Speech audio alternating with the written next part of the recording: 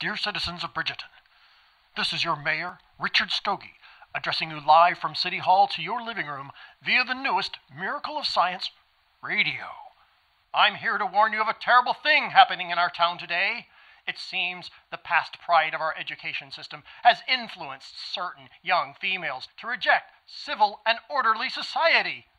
They disrespect the places society has decided for their future roles as wives and mothers. They no longer see the necessity of toil and sacrifice for the good of all. Ah, Dan, drop my cigar.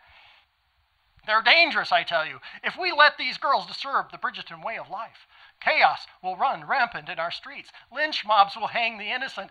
Refuse will rise from our gutters. And worst of all, business might suffer. So I urge you, good citizens, lock them in their rooms. Do not spare the rod to safeguard our hometown from their free thinking, equality minded spirits. Our traditions and social stratification depend on you keeping those high schoolers out of trouble.